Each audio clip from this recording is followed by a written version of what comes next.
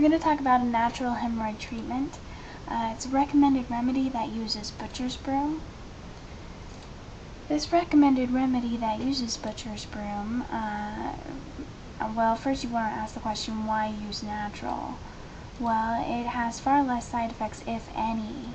Um, natural is usually easier on your body because it's not a chemical-based supplement, and natural remedies have been proven for thousands of years.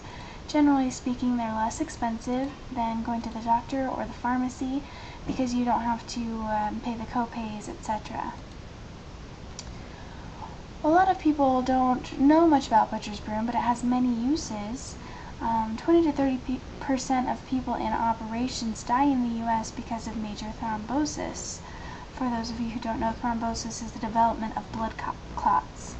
What's interesting about butcher's broom is that in Europe, butcher's broom is used and thrombosis in those operating rooms is a rare and unusual event.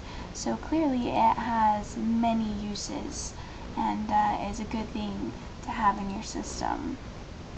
Butcher's broom does a number of things. It reduces inflammation, improves circulation, helps to heal your veins, and prevents blood clots as we mentioned before. One interesting note is that it is more effective if it's taken with vitamin C.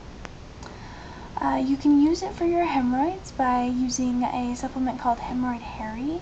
It's Hemroid Harry's herbal remedy, which contains butcher's broom, and it's a natural, safe, proven herbal remedy. You can get this remedy at hemroidharry.com.